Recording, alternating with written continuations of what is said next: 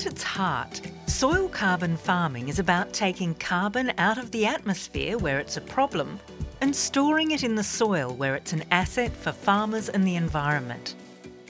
Plants use light from the sun to draw carbon into their roots. This feeds microorganisms which store the carbon deep in the soil. As Damon Gameau explains in his film 2040. Plants use carbon dioxide and energy from the sun to create simple sugars.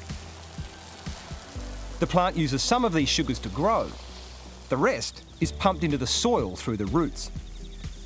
These sugars feed soil microbes, which interact with the plant, and the carbon dioxide taken from the atmosphere is sequestered into the soil as carbon.